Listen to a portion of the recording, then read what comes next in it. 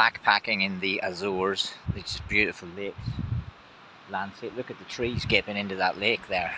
Um, how did I get here? I came on one of these 4x4 quads. I've been driving on these today.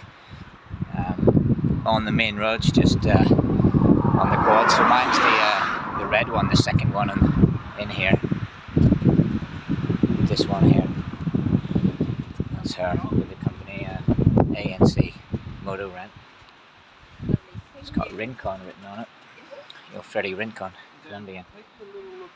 And on this side, on this side, we can see the other part of the lake. Double lake, actually. So that, that one and that one. One is the green one,